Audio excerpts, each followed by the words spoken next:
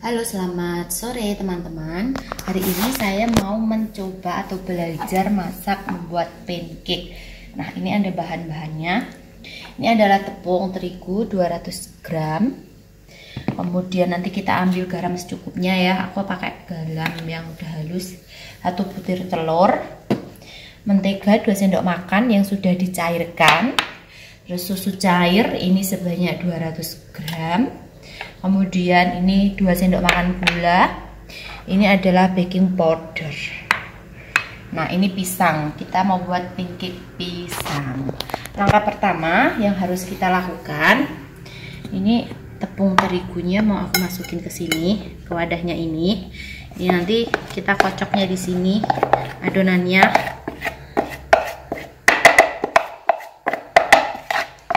Oke. Kemudian ini yang cair-cair mau saya jadikan satu aja. Uh, ini kita campur. Bisa pakai margarin bisa pakai blue band. Terus satu sendok eh satu butir telur sejumput garam. Ini aku pakai satu sendok teh ya.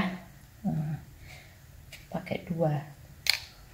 Terus gulanya dimasukin semuanya. Terus ini baking powder. Dua sendok teh ya tadi. Semuanya. Nah kalau sudah ini kita kocok sampai rata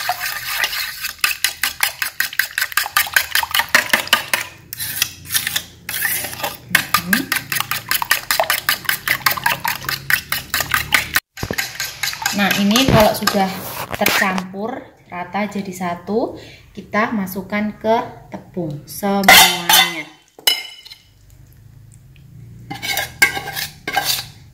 Oke, terus kalau sudah, ini kita aduk lagi sampai rata ya.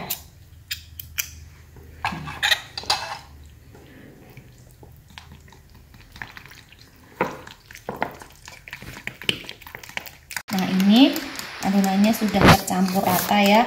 Terus sekarang saya mau campur sama pisang. Ini pisangnya tadi uh, saya blender biar halus biar lebih gampang menyatu tercampurnya.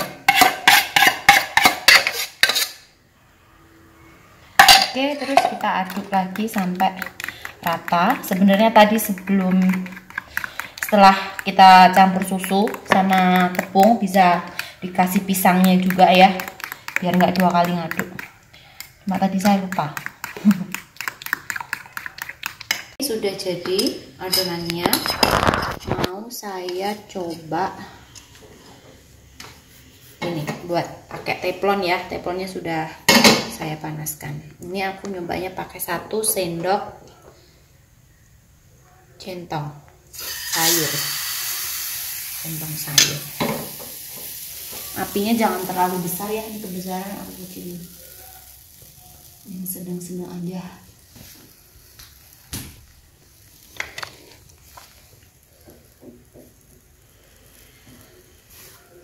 Ini nanti kita tunggu sampai permukaannya ini kayak bolong-bolong gitu. Kalau udah baru nanti kita balik. Ini bisa pakai blue band atau minyak. Cuma ini kan aku pakai teleponnya anti lengket jadi nggak perlu pakai itu biar uh, udah bagus nggak lengket. Nah ini permukaannya kan sudah kelihatan ya kayak ada ini lubang-lubang kecil-kecil gitu. Nah ini coba kita angkat uh, kita balik maksudnya. Iya iya ah kelamaan ya. Maaf maaf. Terlalu lama tadi harusnya. Dari tadi kita. Nah ini kalau kita nggak pakai minyak. Tapi kalau pakai minyak nanti biasanya ini kayak gosong gitu. Kayak bekas digoreng gosong gitu. Nah coba. Nah ini udah bisa kita balik. Oke kayaknya tadi teflonnya terlalu panas ya kepanasan ini udah yang kedua. Itu yang pertama tadi. Taruh situ. Nah ini nanti jangan langsung ditumpuk. Harus nunggu dingin dulu atau anget ya. Baru nanti dipindah di piring. Biar biar yang bawah itu nggak keluar keringatnya. Nah biasanya ini sambil nunggu ini terus tak aduk. Oke. Okay.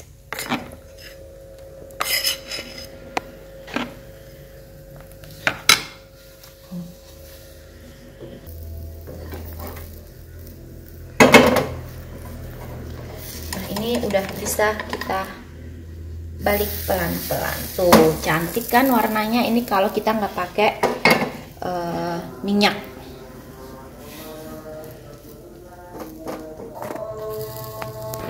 Nah ini kita balik.